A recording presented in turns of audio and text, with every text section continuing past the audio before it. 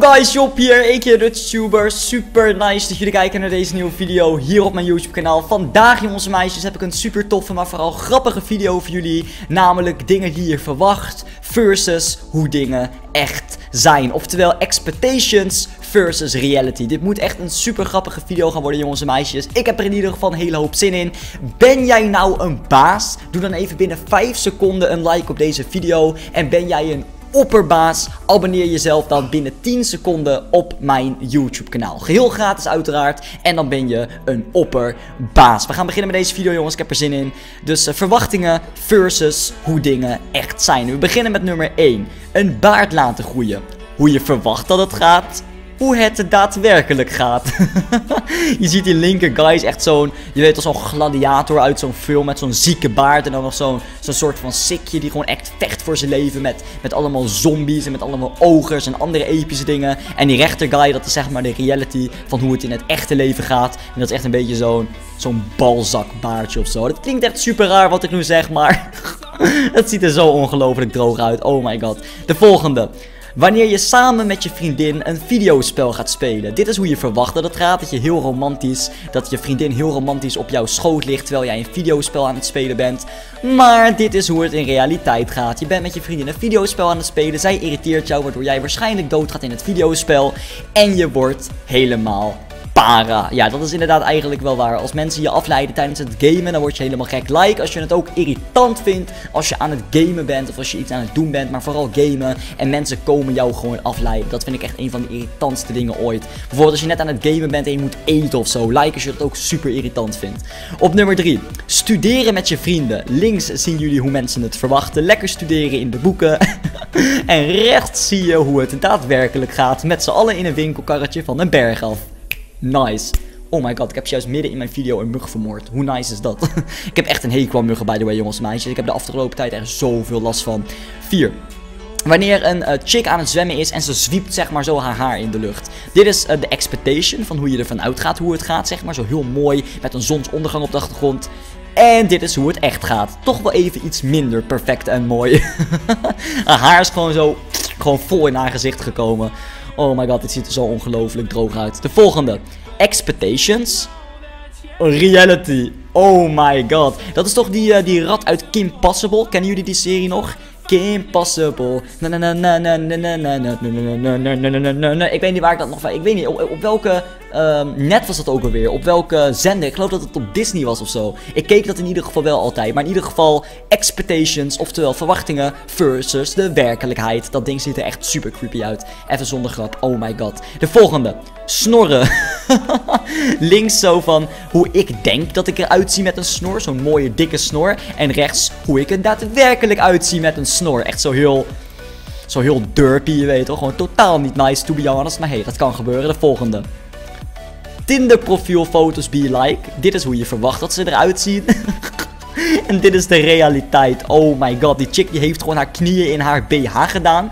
Waardoor het lijkt alsof het haar tieten zijn wanneer, je, ja, wanneer ze het zeggen maar op haar Tinder profiel plaatst. Je weet toch, dat noemen wij oplichting. Dat is niet toegestaan jongens en meisjes. Jongen jongen, dat is toch helemaal niet goed. Daar word je toch gewoon niet blij van. I don't know. Volgende. Hier hebben we ik weet niet wat dit is. Dit is typing lol. Oh ja, natuurlijk. Expectations wanneer je lol typt in een gesprek is natuurlijk... lol, oftewel laughing out loud. Je lacht je helemaal kapot. Maar in realiteit, de meeste mensen die lol typen of naar iemand toesturen... kijken er letterlijk gewoon zo bij. Zo van... Lol, je weet toch? Like als je ook, wanneer je bijvoorbeeld lol typt op WhatsApp, bijvoorbeeld Twitter of Facebook, dat je eigenlijk helemaal niet lacht terwijl je dat typt. Ik denk dat de meeste mensen dat wel hebben. De volgende microwave dinner, oftewel avondeten uit de magnetron. Dit is meestal hoe je het op de reclame ziet. Best wel lekker, waardoor je denkt van hé, hey, dat ga ik gewoon vanavond eten. Lekker makkelijk, maar lekker. En dit is de realiteit. Oké, hier moet ik me eerlijk in toegeven dat ik me hier zelf best wel in herken. Ik ga heel vaak naar de winkel toe en dan zie ik zeg maar zo'n kant-en-klaar maaltijd met op de voorkant zo'n heel mooi lekker plaatje van een heel mooi diner. Dan prop ik hem in de magnetron, zet ik hem er drie minuten in, haal ik hem eruit, haal ik het karton eraf en dan zie ik inderdaad dit. En dat is gewoon freaking smerig, man. De volgende. Warme chocolademelk, hoe je verwacht dat het gaat zijn. hoe het daadwerkelijk is. Oké, op die rechterfoto ziet het er inderdaad uh, ja, niet heel erg smakelijk uit, zal ik wel kunnen zeggen. Lijkt meer op een bakje met diarree. Ik wil niet iedereen belachelijk maken die hun warme chocomel zo maakt. Maar het ziet er niet heel erg lekker uit vergeleken met die linkerfoto. We gaan door jongens en meisjes. Ik vind het echt een fantastisch grappige video om te maken, omdat ik mezelf er namelijk echt in herken.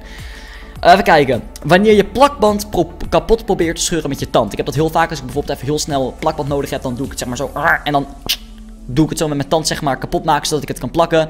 Dit is hoe je verwacht dat het gaat. En dit is hoe het daadwerkelijk gaat. Oké, ik moet eerlijk toegeven, hier ken ik mezelf ook wel in. Meestal als ik probeer plakband af te bijten met mijn, met mijn tand, dan gaat het helemaal zo... Gewoon als een soort van Terminator of zo die met plakband aan het spelen is. De volgende.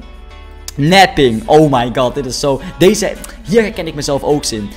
Wanneer je hebt geslapen voor, uh, voor een uurtje en hoe je dan denkt hoe je je voelt. Zeg maar waarvan je denkt van zo ga ik me voelen wanneer ik een uurtje heb geslapen. Zo helemaal strak in pak. Je voelt je weer helemaal fresh. Maar dit is hoe je je daadwerkelijk voelt wanneer je een uurtje een dutje hebt gedaan. Ik heb dat altijd. Als ik bijvoorbeeld even een uurtje een dutje ga doen omdat ik heel erg moe was, word ik wakker. En dan ben ik meestal nog veel vermoeider eigenlijk. En dat is inderdaad wel waarom deze meme of dit plaatje best wel goed bij mij past. Volgende. Summer break, oftewel de zomervakantie. Dit is hoe je ervan uitgaat. Lekker op het strand. Maar dit is hoe het in realiteit gaat de hele dag YouTube kijken. Like als jullie jezelf daar ook een beetje in herkennen, jongens en meisjes. Voor mij is het dan niet de hele dag YouTube kijken, maar de hele dag YouTube video's maken. Zo zou je het eigenlijk wel kunnen stellen. Oké, de volgende. Textdocs, wat is dat? Oh, hoe ik denk dat ik uitzie wanneer ik een pak draag. Dus zeg maar zo'n strak pak met zo'n strikje of een stopdas. Hoe ik er daadwerkelijk uitzie wanneer ik een strak pak draag. Oh my god, jongens en meisjes. En zo naar Spongebob. Het is je boy, de gele spons. Met zijn rode wangetjes. Best wel cute als je het mij vraagt. Echt waar, man, ik hou van Spongebob. Volgende. Oh, nieuwe leraren. Hier heb ik mezelf ook zo vaak in kunnen herkennen. Wanneer je hoort dat er een nieuwe leraar, dat je een nieuwe leraar krijgt, ga je ervan uit dat het echt zo'n hele normale leraar is, zoals die guy op die linkerfoto. Dat is waar je vanuit gaat. En dan komt jouw nieuwe leraar voor de eerste keer binnen. En dan is het letterlijk die guy op die rechterfoto. En dan denk je meestal bij jezelf, ik wil van school af. ik herken mezelf daar in ieder geval wel in. Oké jongens en meisjes, de volgende pagina. Let's get it. De toekomst. Hoe je ervan uitgaat dat de toekomst eruit ziet. Met allemaal zwevende auto's en zo. Ik dacht vroeger legit dat dat zou gebeuren. Hoe de toekomst er daadwerkelijk uitziet. Een freaking automaat waar je ballonnen uit kunt halen. Nice, oké dan. Volgende. Oh, dit heb ik ook zo vaak, hè. Wanneer je zeg maar zo'n opblaas waterpretpark haalt voor in de tuin, dan zie je zeg maar de voorkant van de doos. En dat is zeg maar waar, waarvan je dus denkt hoe het eruit gaat zien. En rechts is hoe het er daadwerkelijk uitziet. Letterlijk een mini zwembadje waar je gewoon niet eens één baby in kunt leggen gewoon. Winking. Links is hoe je ervan uitgaat en rechts is hoe het echt gaat. Dus je gaat zeg maar vanuit dat het zo heel sexy uitziet. Maar bij de meeste mensen gaat het echt zo van... Ja, nee, ik, ik kan me hier wel een beetje in herkennen, to be honest. Every girl ever, oftewel ook meisje ooit. Waar wanneer je denkt dat je er zo uitziet, maar er eigenlijk zo uitziet. Oh my god, de lippen van die linker chick die zijn nog groter dan gewoon mijn ellebogen. Ik weet niet wat dat voor vergelijking is. Ik bedoel, ik heb gewoon mooie ellebogen hoor, bro. Maar je weet toch, is wel oké. Volgende. Wanneer je je rijbewijs probeert te halen. Je links denk je als jongen zijnde, ik ga al die bitches meenemen. Maar in de realiteit word je alleen maar gecommandeerd wanneer je je rijbewijs hebt. En gaat iedereen je dingen vragen zoals neem even je broertje mee naar school en al dat soort dingen. Oké, maakt niet uit jongens en meisjes. Volgende, let's get it. Friday night. Hoe je ervan uitgaat dat jij vrijdagnacht doorbrengt. Helemaal feestend met al je vrienden.